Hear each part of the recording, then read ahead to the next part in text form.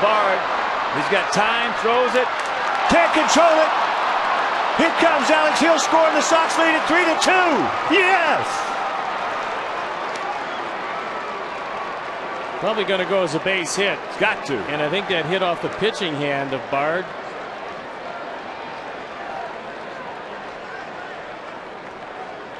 It's going to be a base hit. E1.